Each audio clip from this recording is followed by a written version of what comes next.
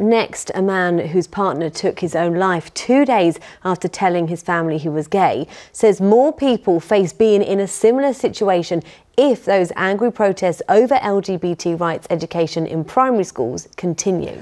It'll be five years on Tuesday since uh, Nazim Mahmood from Birmingham ended his life. Our reporter Balvinder Sidhu has been to meet his fiancée, uh, Matt Mahmood, Ogston, to hear their story.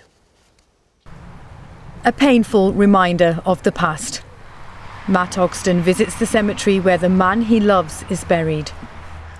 Naz Mahmood was a successful doctor who planned to marry his boyfriend of 13 years. But at the age of 34, he took his own life. Two days after coming out as gay to his family. He'd never been asked the question directly by his parents. And in that moment, when he was asked, why are you crying? Why are you crying? Is it because you like men? He had the opportunity to do something that he'd always wanted. And in that moment, he was told by his parent that he had to go to a psychiatrist to be cured because they thought it was a disease. It's been almost five years, but the pain of losing Naz is still raw it's a scar that I will have for the rest of my life in, in, until I get, it's my turn to see Naz. And no one should ever have to go through this.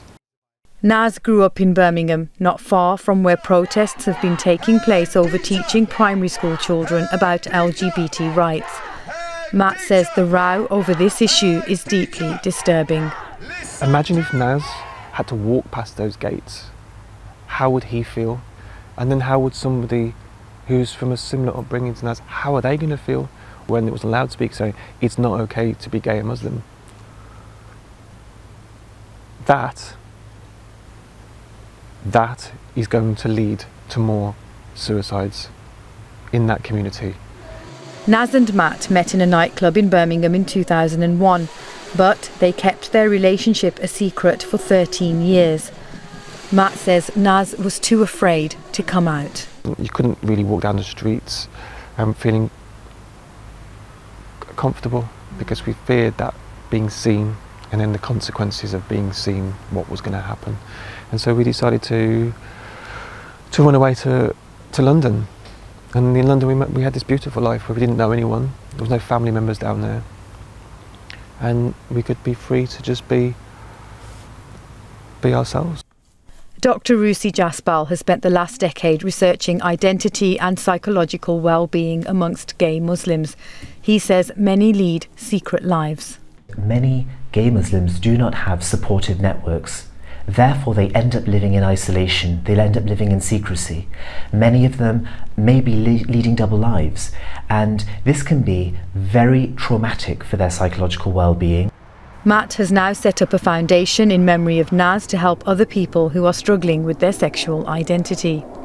I keep Naz's memory alive because he asked me to promise him never to forget him.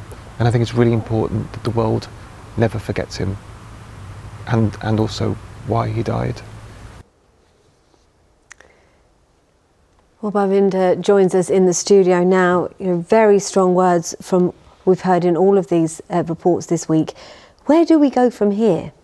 So the row over stop um, RSE or relationships and sex education in primary schools isn't going away anytime soon. The protests may have stopped for the summer, but are expected to resume in September. Now, this issue um, brings a lot of strong emotions in all parties involved. Parents are saying it's up to us when we educate our children about different types of relationships, not the state. The LGBTQ community are hurt and angry because why is telling children about their existence so wrong. And then you've got the schools who are saying we need more support from the government. And now we've got Gavin Williamson, South Staffordshire MP, in charge. So let's see if he can get a grip on this situation. Thank you very much, Val. Um, well, if you've been affected by any of the um, themes in the reports that we've shown uh, this week on uh, LGBT uh, rights and the issues over schools and the arguments, um, there are uh, links to support on our website. There's the addresses uh, on the screen uh, right now. And if you want to catch up on that series, you can do so on our YouTube channel.